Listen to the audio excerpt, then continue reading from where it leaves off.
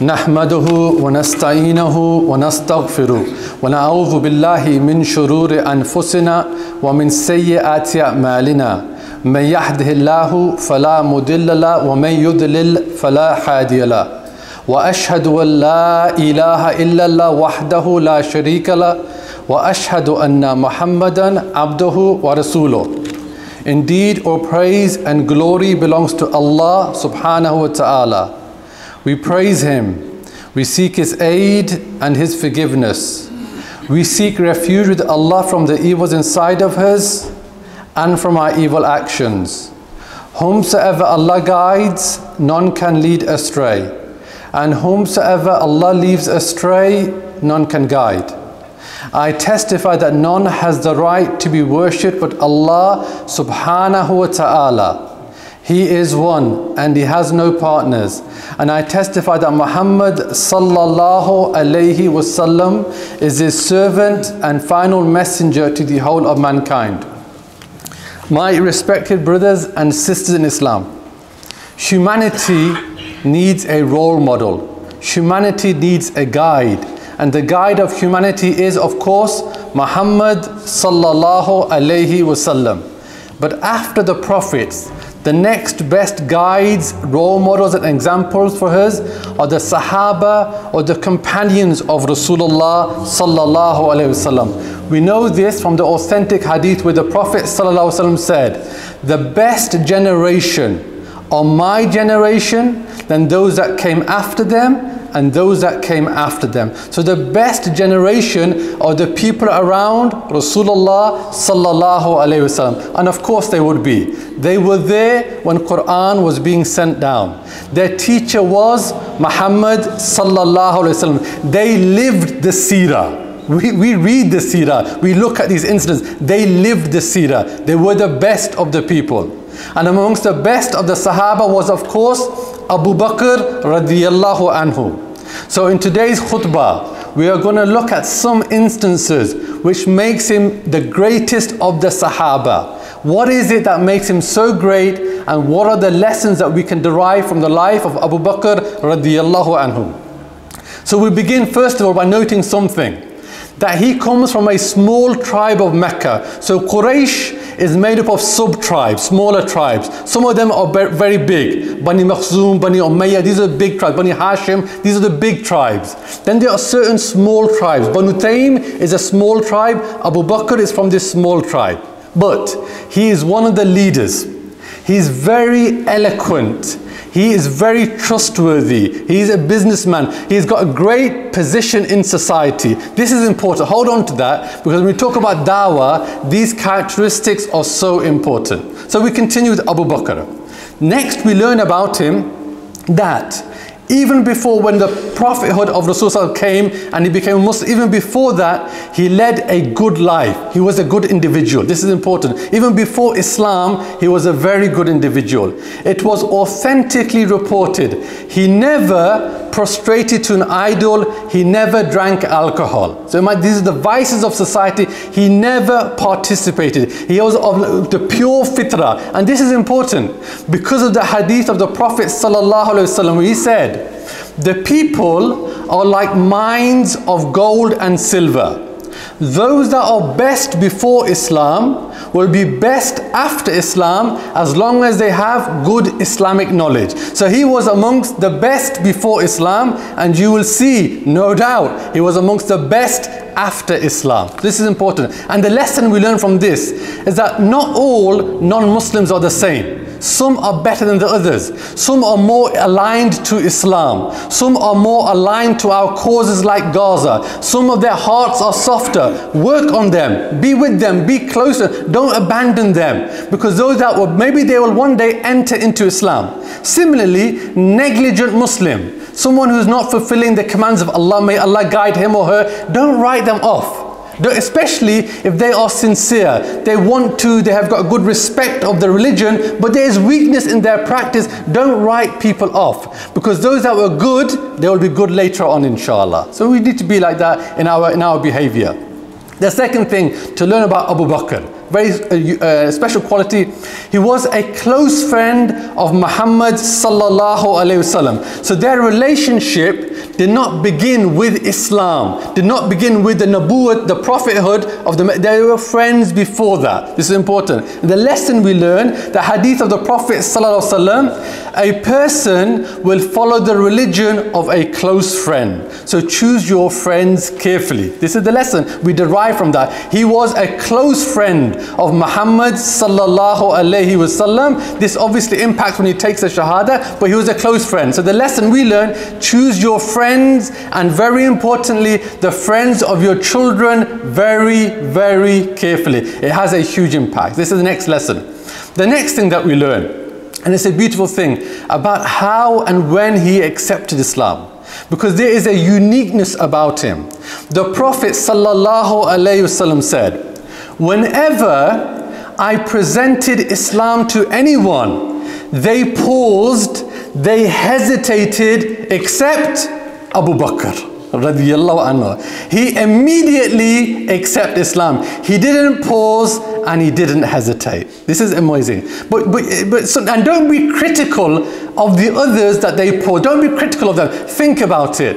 Because all of a sudden, somebody comes to you, i.e. Muhammad and he's truthful, he's a good man, but he says to you, everything that you've grown, all of your beliefs are falsehood.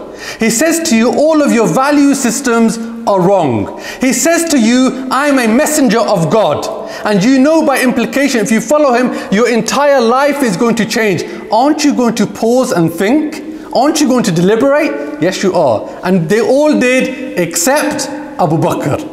This is his status. This is and the and the Prophet, the Prophet he appreciated that. He appreciated this is a unique characteristic, a unique behavior of Abu Bakr radiallahu anhu. We move on. And so now he becomes a Muslim immediately, and we see of some of the things that make him exclusive. And there are many things that make him exclusive. One of those things is his spending in the path of Allah subhanahu wa ta'ala. And in the early days, he was known for spending on slaves. Because when Quraysh, they found out about the Muslims, the fledgling Muslims, they were punishing and they were torturing people, but your torture depends on your rank. If you've got a big tribe and you're rich, they're going to torture you less. But if you're a slave, you've got no one to protect you, they're going to torture you even to death. Abu Bakr would go and he would free as many slaves as he could, as many slaves. And he was known for that. All of his wealth would go, and who is the famous slave that he, that he freed? Bilal radiallahu and This is a famous one as we know, but he was known for his freeing of the slaves. And why was he doing it? Because his father, Abu Quhafa, said to him, look, Abu Bakr, my son, you're freeing these slaves, free the strong ones. The ones that when you get into trouble, they've got your back. Because you free them, they're with you now. So free the strong ones, not the weak. He's going around freeing all the weak ones, the women, the poorest, the ones right at the bottom end. Abu Bakr is freeing them. And Abu Bakr says, no, I'm doing it only seeking the pleasure of Allah. I'm not seeking so they have my back later on. I'm doing it only for Allah. And his ikhlas is so much, Allah sends Quran down about this incident. This is important. His ikhlas, his sincerity is so much. Allah sends Quran down. أعوذ بالله من الشيطان الرجيم بسم الله الرحمن الرحيم وما لي أحد عنده من نعمة تجزى إلا ابتغاء وجه ربه الأعلى ولسوف يرضى Meaning he didn't do it seeking the pleasure of anyone. He did it seeking the face or the pleasure of Allah. Truly, he will be pleased. Meaning, he will enter into Jannah. So his ikhlas in this matter was so much. In Surah Al-Layl, Allah sends Quran down about the ikhlas and the action of Abu Bakr radiallahu anhu. So this is the lesson. When you give, give it seeking the pleasure of Allah. Not seeking the thanks of the people. Not seeking, I did you something, you give my favor. No, you do it seeking the pleasure of Allah. And this was Abu Bakr sticking with his spending. So he gave, but he gave so much. So there's an incident where the Prophet ﷺ, he says to Sahaba, we're going, there's a battle, come give. So Umar says, today I'm going to be tops. I'm going to beat everyone. I'm going to beat Abu Bakr. So Umar bin Khattab comes and he gives so much in front of the feet of Rasulullah sallallahu alaihi wasallam. Whatever wealth he's got, he puts there. And Rasul is concerned. He says to him, What have you left for your family? He says, I've left half for my family. So half for Allah and His Rasul and half for his family. So I said, Fine, Alhamdulillah, no problem. Abu Bakr comes. He puts everything in front of Rasulullah sallallahu alayhi And imagine, imagine emptying your entire house out. And emptying, obviously one bank account, emptying your entire wealth out, putting it at the feet of Rasulullah. Rasulullah says, what have you left for your children? Rasul is caring, he's worried. What have you left for his children? I have left Allah and His Rasul for my family. Iman, Iman, mind. These people, they did it. We talk, what they did. He actually did that. Gave everything to Rasulullah. And so later on, the Prophet, the most appreciative of people, says, no one's wealth helped me like the wealth of Abu Bakr. So I appreciate it. No one's wealth benefited me like the wealth of Abu Bakr. Abu Bakr starts to cry. He says, Ya Rasulullah, what is my life and my wealth except for you? This is it. And, and he means it. And let's come on to that which is his love for Muhammad sallallahu alaihi wasallam. And, and so this is the next point, having love for Rasulullah sallallahu alaihi wasallam, and it's so important. Listen, learn about his love. So, as we go through the Meccan stage, Quraysh become stronger, they become bolder, and so they start to attack the leaders of the Muslims as well. And one day the Prophet ﷺ is in the precincts of the Kaaba, and the Quraysh come and they start to attack him. And the worst of them, Uqba bin Abi Mu'ayt, he gets like a cloth and he is literally strangling Muhammad sallallahu alaihi wasallam. It's unprecedented, literally strangling him. Sahaba are there, they can't do anything. They can't do anything except Abu Bakr. Remember, Abu Bakr charges in and says, Would you kill a man because he says, My Lord is Allah? So Abu Bakr confronts them in the precincts of the Kaaba. They turn around and they start attacking him. And they beat him so much, so much, literally, he's on door's death. So his tribe says, if he dies, we're going to take revenge. So imagine they have literally beaten him to death. This was his love for Rasulullah sallallahu alayhi wasallam. They take him home. His mother looks after him. Soon as he comes round, one sentence on his mouth. How is Muhammad sallallahu alayhi wasallam? Imagine, not anything about himself, nothing matters. How is? And until they take him, until he sees Rasulullah sallallahu alayhi wasallam, there is no peace in his heart. This is love for Muhammad sallallahu alayhi wasallam. Another beautiful incident. The hijrah is taking place. All the Muslims have left. There's only a couple left, few handful left. And the Prophet ﷺ is one of them. One day he goes to the house of Abu Bakr, and it's like the hottest time of the day. Nobody comes to the house that day. He comes, he sits with the Prophet, he sits with Abu Bakr, a couple of people there, and he says to Abu Bakr that we're going to do hijrah and you are coming with me. And Abu Bakr is the happiest person in the world. And imagine, what does this mean? The Prophet ﷺ is a wanted man. All of Quraysh are going to try and attack him and kill him. This is the most dangerous journey from Mecca to Medina. All of Quraysh are going to attack. So whoever goes with the Prophet, his life is in mortal danger. Who wants it? Most of the Sahaba have gone. Whoever goes with him, his life is in danger. Aisha says, radiallahu anha, I never knew anybody could cry out of happiness until I saw Abu Bakr cry on that day. He is so happy he is going with Rasulullah on a journey that could cost him his life, but he is so happy he is crying tears of happiness. This is love. This is love for Muhammad sallallahu alaihi wasallam. This is what we need to lesson, we need to inculcate, we need to take this love into our lives. We move on.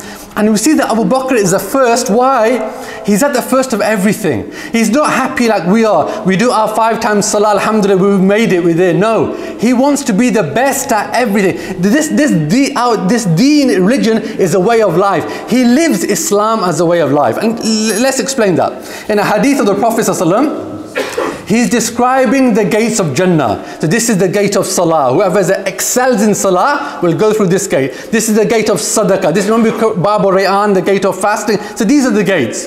And Abu Bakr says, whoever enters through all of these gates will truly be successful. Ya Rasulullah, will anyone enter through every gate? Me and you, as long as we get through any gate into Jannah, Alhamdulillah. Abu Bakr, no. I, I, want my name to be called from every gate. Rasulullah says, yes, and I hope it is you, Ya Abu Bakr. And if Abu, Rasulullah hopes for something, it is Abu Bakr. So this is the rank of Abu Bakr. He excels in everything. So those mundane, routine things, he excels. In another instance, the Prophet ﷺ is here with Sahaba. He says, Who amongst you woke up fasting? Abu Bakr. He says, Who amongst you followed a janazah? Abu Bakr. Who amongst you fed a poor person? Abu Bakr. Who amongst you visited a sick? Abu Bakr. In everything he said, Abu Bakr. And these are all things every one of us can do. We can fast, we can follow janazah, we can, we can uh, go to the ill, we can give to the poor. None of the Sahaba fulfill all the categories except for Abu Bakr radiallahu anhu. The Prophet said no, these characters aren't combined except this is a person of Jannah. This was Abu Bakr radiallahu anhu. And we close the first khutbah by understanding he is given a title. He is a Siddiq, the truthful. Why is he a Siddiq? Why is he, why is he the truthful? We covered part of it, remember? When at the beginning, right at the beginning, he accepted Islam immediately, this was his truthfulness. But the real reason he's given this title is because of the journey of Al-Isra wal-Miraj. So we know this is the famous journey where the Prophet ﷺ in a single night is taken from Mecca to Masjid al-Aqsa in Jerusalem. He leads all the prophets in Salah. He goes with Jibreel on Buraq through the heavens, passing by the prophets. He sees Jannah. He sees Jahannam. He speaks to Allah subhanahu wa ta'ala and he comes back. He goes to Mecca and he tells the people there. So Rasulullah tells everyone, and Abu Jahl is sitting there. And normally the Quraysh, the disbelievers, whenever the Prophet says something, they put their fingers in the air. They don't want to hear. But Abu Jahl hears this. Abu Jahl says, repeat what you do. Abu Jahl says, listen, if I call the people, will you say that again, that one night, you went from here to Masjid al-Aqsa, you led the prophets, you passed the prophets, you went to the heavens, you saw Jannah, you saw you spoke. Will you say that? Meaning no one's going to believe you. And if you say that, people will leave Islam because this is just no one's going to accept that. Rasul said, yeah, of course, I will say it. He goes, then someone goes to Abu Bakr and says, Abu Bakr, this is what your friend said. Abu Bakr says to them, did he really say that? Meaning, most of Quraysh, they lie all the time. Did he really say that? The man says, yes. Abu Bakr says, if he said that, I believe him. Truly, he comes and he's given revelation from the heavens. This is why he is a Siddiq. When again, many of the companions, they hesitated, they paused, they needed time. Some even left Islam. Immediately, a Siddiq of this ummah says, I believe. This is why he is the truthful of this ummah. So this is again our lesson. We should be of those we hear and we obey. We hear and we obey. أقول قولي هذا وأستغفر الله لي ولكم فاستغفر إنه الغفور الرحيم.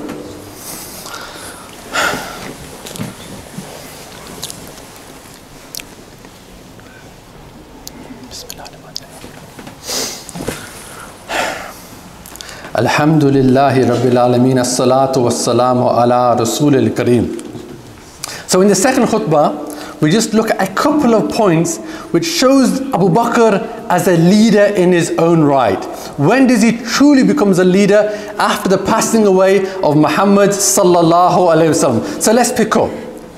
The death of the Prophet ﷺ happens, and this is really, it's narrated, the darkest day in Medina. If the best day was when Rasulullah arrived, the darkest day was the death of Rasulullah wasallam. Imagine, no more Quran is going to be revealed. Imagine the Prophet of Allah, who you saw every single day, who you heard, who you had around you, he's no there anymore. You thought you were going to conquer the world with the Prophet. Now your Prophet has gone. There is mayhem in Medina. This is no exaggeration. There is mayhem in Medina. The senior Sahaba are crumbling. Umar bin Khattab, you know, next after Abu Bakr, the, the man of the moment, the most calmest, Umar bin Khattab, these are strong. What does he do? He goes around saying, No, he's left like Musa, he's going to come back. Anyone who says he's dead, he's a munafiq. Anyone who says he's dead, I'm going to chop his head off. He's wandering around with a sword. Senior Sahaba. No one knows what to do. The messenger has gone, except for one man, Abu Bakr. Abu Bakr's not there. He comes in past all this crisis. He doesn't speak to anyone. The first thing he does, he goes to the body of his beloved and he uncovers his face and he kisses Rasulullah sallallahu alayhi. The first thing, forget the commotion, forget the noise. Where's my Habib? Where's my beloved? He kisses Rasulullah sallallahu alayhi wasallam. He says, you are as beautiful in death as you are in life. Truly, you will only taste the death's one. So this is his love, his attachment. Then he goes into Medina, sorry, into the masjid of the Prophet. He tells Umar, be quiet, sit down. He doesn't carry on. Everyone crowds round Abu Bakr. He's the man of the moment. He says, whoever worships Muhammad sallallahu alayhi wasallam know that Muhammad is dead. And whoever worships Allah, know that Allah is the ever living. When he said that, people say the ayat of the first time we like hear this, and the whole of Medina, they calm down. They receive composure. He was the man of the crisis. He stabilized the ummah in its single most dangerous moment. This was Abu Bakr radiallahu and this is Abu Bakr. This was his status. Remember, senior Umar bin Khattab, Uthman, Ali, Abu Bakr is there, calming this is leadership. So the lesson we take, leadership is shown in a crisis. When things aren't going right at home, when things aren't going right at work, when things aren't going right the ummah, how do you behave? Are you a leader like Abu Bakr? He was a leader. And then other things happen, you know, crises are going place, people are not paying zakat, this one's saying I'm a false prophet. All of these things, Abu Bakr stems. He, you know, in Umar bin Khattab, the Ummah, it expands across many different lands. Abu Bakr gets it ready. Those two years, he gets the, uh, it ready. We're not going to spend time, but he was amongst the greatest of the leaders. But we close with just one thing. We close with, again, the life the, the, simple things of Abu Bakr. Just one last one. This is about Abu Bakr. Now he's a Khalifa. So you, now you can be thinking, he's a Khalifa. Forget those small things about visiting the ill and feeding the one. But forget that. He's Abu Bakr. He's a Khalifa now. He's different like the rulers are. Listen to Abu Bakr. Umar bin Khattab, he's always watching Abu Bakr. He says every morning after Fajr, I see Abu Bakr leaving the masjid and he goes deep into the deserts of Medina. And he comes back hours later when the sun is at its highest. I need to know what's going on. What's he doing? So Abu Bakr, so Umar bin Khattab, secretly he follows Abu Bakr and he sees that he enters into a house. When he leaves, Umar bin Khattab, he enters his house. There's an old lady there, old lady. She's blind. She's got very young children. So some of the scholars say maybe they're her grandchildren, maybe they're orphans. So she's in the weakest of state. It's her house, nothing's there. And, and, and Umar Khattab says, this man, he comes to your house, do you know his name? No, I don't know his name. What does he do every day? She says, he comes. He cleans my entire house. He washes the clothes. He cooks the food and when we are okay, he leaves us. She he says, does he do that every day? She says, yes, he does that every single day. Almost starts to cry. Yeah, this is, this is, almost starts to cry. It says, Ya Abu Bakr, you have exhausted us. No one can compete with you, Ya Abu Bakr. Look, this is Abu Bakr. He is the Khalifa. Blind, old woman, small kid, every day, washing, cleaning, uh, make everything okay. And this is how the Khalifa, this is why Abu Bakr has such a rank. So the lesson, the small things, don't, don't, don't forget about the small. Maybe you're doing something, this was hidden. This was one of Abu Bakr's hidden deeds. Just because Umar saw how many other hidden deeds did Abu Bakr have that we will never know about? These were the greatest of the people. So we conclude and we close the khutbah that we try our hardest to follow the steps of the illustrious Sahaba of Rasulullah sallallahu alaihi wasallam. We gain knowledge. They are our leaders. They are our teachers. There's so much to learn of sadaqah, of dawah, of ikhlaq, and all these things. May Allah make us amongst those, inshallah. اللهم اغفر لنا ذنوبنا وكفرنا سيئاتنا اللهم قنا عذاب الدنيا وعذاب الآخرة اللهم اغفر للمؤمن المؤمنات والمسلمين المسلمات ربنا آتنا في الدنيا حسنة وفي الآخرة حسنة وقنا عذاب النار وأقم الصلاة.